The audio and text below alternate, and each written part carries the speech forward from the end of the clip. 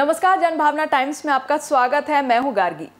B town के खिलाड़ी कुमार अपने मूवीज़ और फिटनेस के कारण हमेशा ही चर्चाओं में रहते हैं। तो वहीं अब हाल ही में उन्होंने एक और वीडियो डाली है, जिसको इन्होंने अपने ट्विटर और इंस्टाग्राम दोनों सोशल मीडिया साइट में फैंस के साथ शेयर किया, जिसको देखकर फैंस बहुत मोटिवेट हो रहे हैं। दरअसल, उन्होंने वीडियो शेयर करते हुए लिखा, मेरी सुबह ऐसी होती है। और आपकी?